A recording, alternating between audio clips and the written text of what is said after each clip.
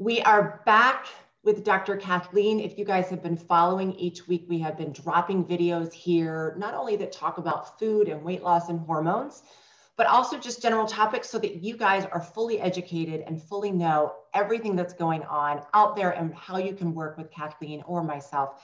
So today we have decided to do the top four things you can do, you can implement, you can execute right now to very quickly slim down for summer. Dr. Cathleen, are you ready?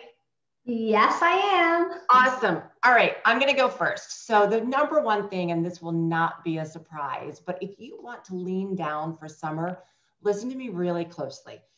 Focus on the food. So many of you guys are under eating, thinking that the less food I eat means the more weight I will lose. That it's completely backwards. That is old science. It's bad if you are wanting to lean down pretty quickly, you've got to focus on eating real food and actually eating things like prioritizing lean protein. Come on, guys, you've got to get that meat in there first. Vegetarians, you've got to focus on those lean proteins that are also included with complex carbs like the beans, the lentils, the hummus, all those things. But focus on actually eating. Take the processed crap out of your house for 30 days if you're rolling your eyes at me already thinking 30 days, I can't do this, give me two weeks. Take the processed crap out and really just focus on single ingredient foods for the next two weeks to 30 days. Think about, we always talk about the outside of the, um, the grocery store. Just really think about single ingredient foods. Dr. Cathleen says this the best. If it doesn't have a nutrition, if it has a nutrition label on it, you shouldn't be eating it, right? Think about the meats, the fruits, the vegetables. They don't have a nutrition label on it. Eat those. So, number one, to slim down fast, you have to be putting real food, single ingredient foods, whole foods in your mouth. Give me two weeks to 30 days and you will feel amazing already. All right, Dr. Cathleen, I know you have a really interesting one. You and I were talking about how and why people overeat in restaurants. Tell me about that. Yes. Well, if you go to a restaurant of course, there's these nice music playing in the background. Well, it's playing with our mind because we become not mindful of what we're doing, which is eating. So I think what we need to do is just change those little eating habits a little bit at home when you're sitting down to have a meal, dinner, lunch, breakfast. Turn everything off. Turn that TV off and just be mindful of the food that's in front of you.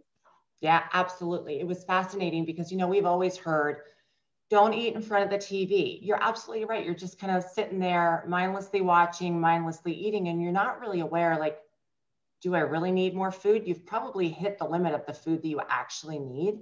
Um, but I found it very fascinating that you brought up restaurants and the music does yeah. the same thing. So fascinating and quite often there's lots of TVs at the restaurants that we go to as yes, well. So, lots of TV, you know, right? the sports bar, you know, right. TV's on, you're eating, or you're eating in front of TV, watching Netflix at night, mm-hmm. binge eating, right. you know, just cut that out. Bad. You know, it's also interesting. I would actually challenge anyone who's listening to this to not eat out for the next two weeks. Because when you do eat out, you get larger portions you get sauces, sugars, spices, salt that your body doesn't need. So I'm going to add a little, you know, point two, letter A, don't eat out for the next two weeks. Like you will literally feel so much better because you're eating better foods that don't have sugar and really like sugar laden sauces and that salt as well. All right, so my number two, to slim down pretty quick for the summer, is drink, don't drink. What am I talking about, right? So mm-hmm. I say this give me two weeks to 30 days of drinking water only and do not drink alcohol. So drink the water, don't drink the alcohol. And here's why I say that even if you are drinking a more clean version of something like a margarita or you know perhaps you have seltzer water or soda water with a little splash of cranberry and vodka what people don't realize is that the liver stops metabolizing the food that they eat once you put that, even the cleaner alcohol in your mouth to deal with the poison you've just put in. So, beyond the fact that you might not really care about your liver, I will tell you this the longer you stay with, with no drinks, the more lean, the more water weight or inflammation you will lose. And literally within two to three weeks, you will feel tighter on your skin, meaning you feel like less jiggle. So if you're dealing with a midsection that just seems to jiggle all the time, stay away from the alcohol. Literally, the water, the subcutaneous water right underneath the skin, will flow out of you, and your skin and everything else will just feel tighter. Any thoughts on that, Doc? Oh, absolutely. Well, disclaimer here I have a genetic defect, which is a great thing because I cannot process alcohol at all. So, whenever I drink, if I drink, it'll get right into my skin and I'll break out into hives, like really bad hives. But going back to the liver, the liver processes every single thing, every single food you eat, every single supplement you take, every single medication you put in your mouth. And when it comes to alcohol, it has to go through your liver. So at least my body's smart enough because of the mutation to say, hey, this is bad for you. You know, get it out of the body. So what does it do? It pushes onto the skin. So if you really take alcohol to the next level, when you think about it, what it does is that it competes with the receptor cells of your hormones. So your thyroid hormones needs to be converted in your gut and in your liver.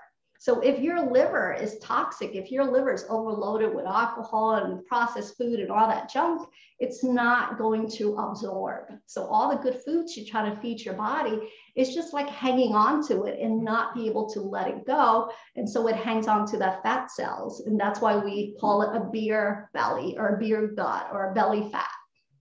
Yeah, it's tough, but I will definitely say the longer you go alcohol free, what is just so amazing to me is how much inflammation you will very quickly lose from your face, from your hands, from again, your belly. Even if you are a fairly lean person, I always, the, the longer I extend periods of not having alcohol, I'm like, wow, my my stomach is just getting, you know, leaner and leaner and leaner, and the skin just feels tighter, less full, less jiggly, which I love that feeling. All right, I think we're on number four, which is all you, Dr. Cathleen, and this is very fascinating. You have some supplemental shots that people can use to help them lose weight. So tell us about that. Well, one of my favorite things is called the lipoamino shots, or we can call it the skinny shots or the fat burner, what a lot of people known for. Um, what it does is that it's complete with B12 and B complexes that helps your body able to absorb the, the micronutrients that it needs. So these shots work really effectively because it gives you a little bit of the energy that your body needs, but it fuels your thyroid and fuels your metabolism. I just love the lipoamino shots because the feedback is like, oh my gosh, I have my energy. And it's not like um, it's not like a caffeine high where it spikes up and then it goes right down. What it does is that it's it's sustainable throughout the day. So that's what we kind of implement into our um, our weight loss program or our everyday wellness program, where I, you know, myself and my staff, we all take our lipoamino shots. So then we're able to have that um, amino acids, which are building blocks of protein, that allows to sustain our um, our protein contents to fuel our mind and our body and our muscle mass. So, is that something that you take daily? Um, no, I usually tell the patient to do it. Um, it's a sub-Q injection. That means it's this very, very fine insulin needle that you're able to administer yourself at home. And you take it on Monday, Wednesday, and Friday. And it's just something that I would say one of the maintenance things that we're able to do, or you can implement into any kind of program where it'll really spike up your metabolism a little bit, give it a little, you know, kickstart, push it a little bit. Now, why is the shot better? Because I'm probably guessing people are thinking, ooh, why do I have to do a shot versus is there a pill form of this? So tell uh-huh. us about that. Yes, well, there's different ways. Delivery system is everything. If somebody that's struggling with weight, if you're one of those people or that are really struggling with weight, sometimes your body's not able to absorb so when I say delivery system, when you're able to inject yourself subcutaneously, it gets right into your bloodstream and really helped your body a little bit. If it was like somebody that's um, trying to maintain and stuff like that, I was like, okay, we're able to implement um, where we can have like um, a, a B complex capsule that you're able to take orally. So it really depends what level you're at. And that's why I think it's important that we um, use what we call personalized you know medicine where we can figure out what fits you, what is best for you, and we can create a plan around what you want and what your goals are. So it's more personalized.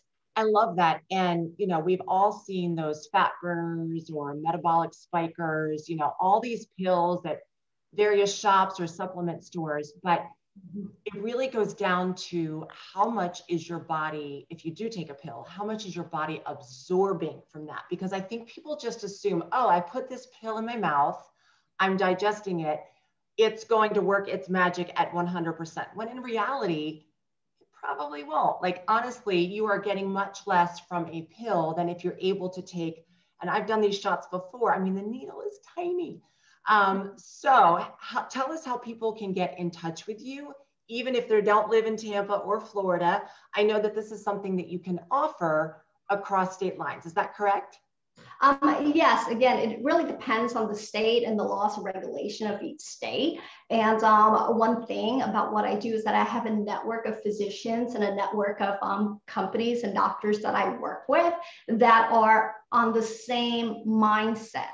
Because not and you probably know that not all doctors are open-minded and not because they didn't want to be because they don't know too much about oh my gosh there's an alternative way for treating their patients or taking care of weight loss because these lipoamino shots are specifically designed to really help your metabolism especially when we're dealing with weight loss because Perfect. weight loss and hormones they go hand in hand yeah, and I think that's what's scary is that people, everyone needs to realize that when it comes to weight loss, again, thyroid, adrenal glands, hormones, mitochondria, and people like at that point, you know, most people's heads are spinning around backwards because they're thinking, my doctor never talks about that. At most, your doctor will probably just talk about your thyroid. Um, so yes, absolutely, all tied together. Thank you so much, Dr. Cathleen. So the four steps are eat, actually eat, you guys. Less food doesn't mean more weight loss.